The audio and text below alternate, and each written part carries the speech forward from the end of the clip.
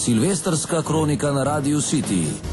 Vi poslušate kroniko leta na Radio City, z vami sem vaš voditelj Bor Grinder, na terenu naš poročevalec, reporter Milan. Milan, katero zgodbo nam tokrat prinašaš? Ja, Bor, pozdravljen. Torej, uh, gremo naprej med dogodki, ki so zaznamovali leto 2014. Zagotovo je to leto, ki se izteka, zaznamovala tudi gospodarska kriza in naša država, bolj natančno naše mesto, v tem še posebej izstopa. Kitajci nas, kot se kaže, ne bodo rešili, imamo pa posamezne primere, posameznike, ki pa ponujajo rešitev oziroma se na nek način s tem že ukvarjajo. Zato sem pri uh, ta trenutek v Novi Vasi, pri gospodu. Podjetniku, ja. Podjetnik. A podjetnik, ker vas imenujem. Ja. Zaenkrat je še moja dejavnost tako rekoč v temi, mislim, se to je tudi primerno, da ni dnevne svetlobe, ampak uh, ni še čisto, bom rekel, uzakonjena. Smo pa delno že na pravi poti. Mislim, tako nam ne morajo nič. Uh, Tako da ne bi zdaj o tem, jaz imam pač rešitev. Ne? No, to nas zanima, zdaj ja. ja no, zdaj najboljše je bilo, da probate, da vidite. Ne bi, zdaj res ne, nimam časa, pa tudi, uh, ni mi, zdaj mislim, se razumete. Kaj, kosmatinko, kaj bomo na hitro? Po 40 evrov, zrihtamo 1, 2, 3, lahko za 60, malo več, traja eno urco, za 80 pa tako rekoč vse. No, pa je zdaj res, gospa, hvala lepa, no ne bi mene zanima, kaj vi ponujate kot rešitev za državo, ne, gospod podjetnik. No, če bi jaz gospa bila, ne bi tu bila, ne. To pa ste gospoda. Počakaj, zdaj če se z mano meni, tam idi počakaj, zdaj boš tako užumela. Ja, um, sigurno je to ena od panog, ki bi jih mo morali legalizirati, ne, namreč morate nekaj vedeti, ne. Um, ta zaslužek se v svetu deli na tretjine, ne. Ta redne zdravniške preglede, to že jaz plačam, ne? ker to je danes, če imaš pač zavarovanje, neka malenkost, ne? da je tu, bomo rekel, tisti minimum zdravstveni, ki pač mora biti. Ne? Drugo pa recimo pri 60 evrih, zdaj 20 dobi delavka, ne? 20 dobim jaz, 20 pa ostane, ne? v tem primeru bi to bil kot neki DDV državi, ampak zdaj, ker ni nobenega, pač jaz tu teh 20 zamem, ampak to gre prav, mislim, v nič, ne? mislim, hočem reči, da. To rešitev je, gledajte, tu v stanovanju zraven imamo tudi študente, ki mi trebamo samo zid prebiti, ki več ali manj so na uh, teh substancah, ki pravijo, da so zdravilne, torej marihuani. Ne? In zdaj v kombinaciji ta ponudba, da se pri nas to legalizira, se da koncesija. Jaz bi bil neke vrste koncesionar, ker morate vedeti, da imam tu pa v celju stanovanje, imam že 12 uh, pridnih delavk. E, veste, kaj to so koče bele. In e, meni je res škoda, da pač tretjina tega zaslužka, posebej pri vhodi Avstrijci, ki pač dajo 200, ker hočejo imeti poseben tretma, zdaj roko na srce, več kot za 60, tako ne može biti, samo če dajo 200, naj pač dajo. In tudi tu slabih 70 evrov praktično ostane. Ne. Ostane, ki snijas pač, koliko ne moram vzeti. Ne. In uh, gledajte, tu uh, gre ogromni denari mimo. Eh, mi bi brez reklame lahko, kot meni pravijo, fanti zraven, je tudi pri tej robi tak, v glavnem, ogromno gre v zrak. Tako da to dejansko je rešitev. Ne? Dobro, hvala lepa, Bor, kot si slišal, to je bila še ena rešitev, zdaj pa šibamo dalje v naši kroniki leta.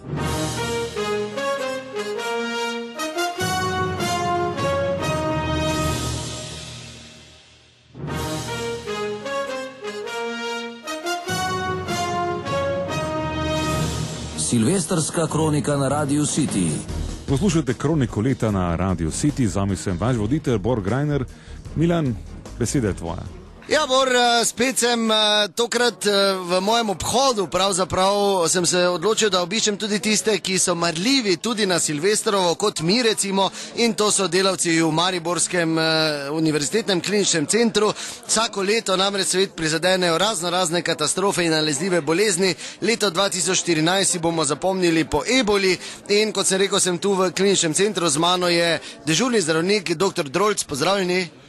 Ja, dober večer, mogoče niste ravno pravega dne zbrali. No, pa, pa vseeno, gledajte. No. Ja, mi, mi imamo polne roke dela, ampak bom rekel, čeprav se to grdo sliši, nažalost ne zebolo. Imamo danes hujše, ker je Silvestrovo. Uh, primere, uh, ebola je stvar, ki je zaskrbljujoča, ampak za nas ne nevarna. Mi se moramo bolj uh, orientirati na gripo, in eh, te njene posledice gripa je za nas v tem primeru ebola. Sicer pa je današnji dan tukaj za nas že sam po sebi kazen, ker moramo dežurati, eh, dežuramo pa res ne radi, te ure niso tako plačane, ki bi morali biti.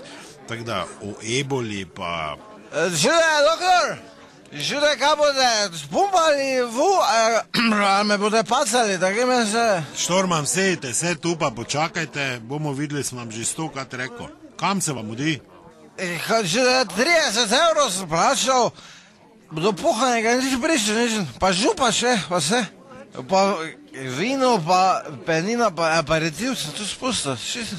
Tako da gremo, da me spumpamo, pa gremo, ne dalje. Štorman, gledajte, rekel sem, sejte se, pa to je tak in tak plačljivo. Tako da 60 evrov boste tako samo plačali, da vas čistimo. Halo, Miki, halo, na potnico imam. Ja, kaj vam bo napotnica pri črpanju? Počakajte malo, ko se pogovarjam. Tu napotnica vam tu ne pomaga. Kaj vam, kaj vam pomaga? Veste, vi zakaj imam jaz na potnico? Ker sem pripravljen. Ker sem 30. včeraj bil pri zdravnici, pa mi je napisala, ker sem vejo, kaj bo. Pa dve peninic ima rokla. Dobre, Štorman, dajte se vsest. Jaz se res, jaz se vam Ja, rečem, jaz zdaj ne bi o eboli, ker imamo tu drugačne. Hvala, doktor. Kaj če ruknemo, ne? Ne, Hvala lepa. Bor, to je bilo to iz Univerzitetnega kliničnega centra, se slišimo.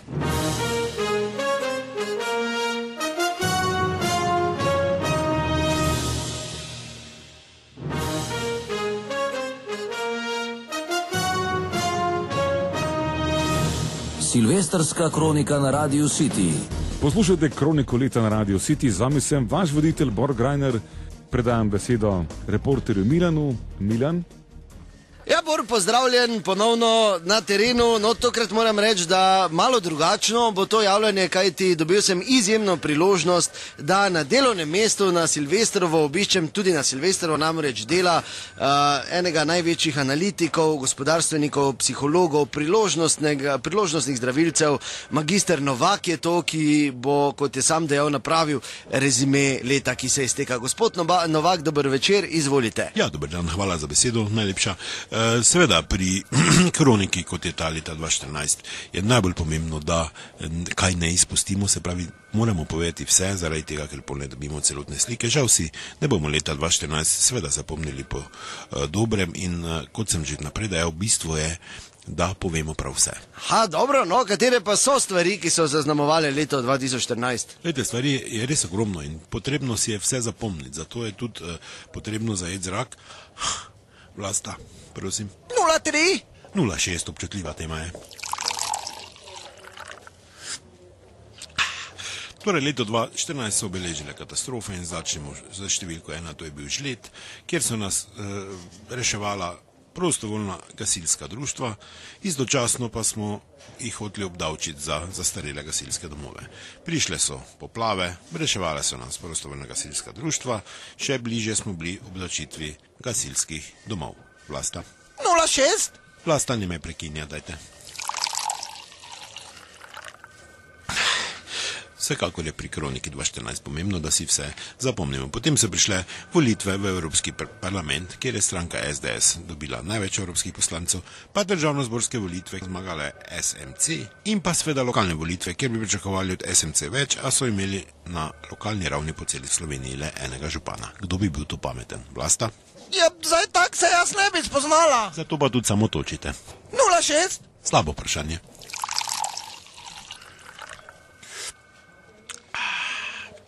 Torej, kje smo stali? Ja, ja, no, ostali smo pri politiki. Sveda je pri celi stvari zelo pomembno, ko govorimo o kroniki 2014, da kaj ne pozabimo, da ne vzamemo z konteksta, da nas ne označijo kot leve, desne, sredinske črne. Zato bomo seveda nadaljevali in končali s politiko. 2014 je obel- obeležil tudi dogodek, ko je eden od najbolj znanih politikov, vojakov, generalov, očetov, dobrih šoferjev, pevcev, priložnostni nogometaš in slovenec odšel v zapor na dob. Tako kot je odšel, se je tudi vrnil, skratka, to je kar se tiče politike, pomembno pa je seveda, da nič ne pozabimo. Vlastno. Jaz sem kar natočila. In to je najboljše za spomin, na zdravje. In še zadnji dogodek, na katerega absolutno ne smemo pozabiti 2014, ki se mi je kot psihologu, magistru, gospodarstveniku, priložnostnemu zdravilcu in anal- analitiku najbolj vtisnil spomin, to je dejstvo, da je po novem najboljši sosed Hrvat. Namreč Merkator smo prodali Agrokorju. Vlasta, dajte preostanek, ker se splaše. To je to, hvala lepa. Hvala lepa, magister Novak, za vaš čas, Bor, to je bilo to, se slišimo ponovno čez par minut.